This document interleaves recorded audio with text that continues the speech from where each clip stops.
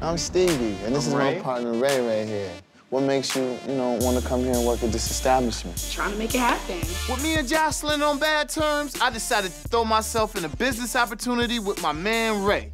He been trying to get me to do this since I was in LA. At the time, I was wrapped up in movie making, but we ran into some complications trying to relocate this movie. So instead, I decided to go in on this hookah bar that my man Ray been working on. Hopefully, things won't turn out the way they did the last time I got involved in the club. You know, the good guy always got a side hustle going on. I'm looking for something new. I like her. You like me? Yeah. Energy just Energy is came. Yeah. I need my staff to be professional, good looking, and know how to keep my customers happy. Hi. Hi, I'm Stevie J.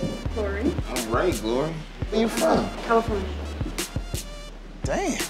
And now, Tommie, what's up?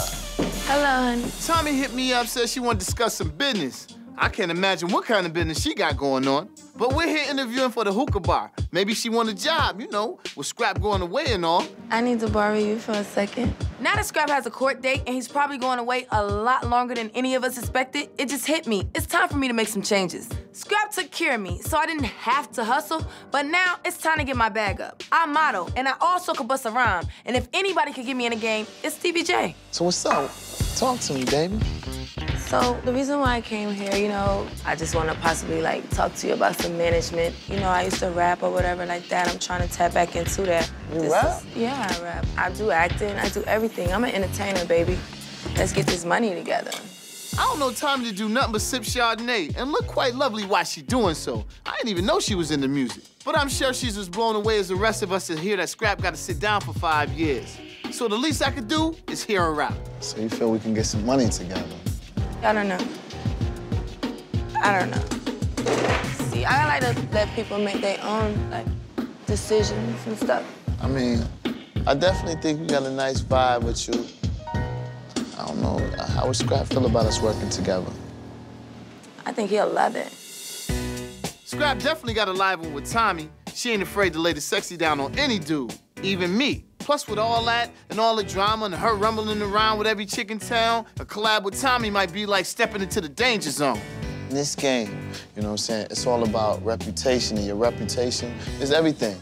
You don't want a reputation of being like a fire engine all the time. You want to be known as being a businesswoman and somebody that could be looked at as a businesswoman. Together, your attitude just got to be in the right place, you know what I'm saying? Like, Yeah, I'm willing to get it under control are you really ready to just do it, anything you got to do to make sure you win? at all costs. Yeah, I like that. I like for somebody to teach me because I'm so willing to learn.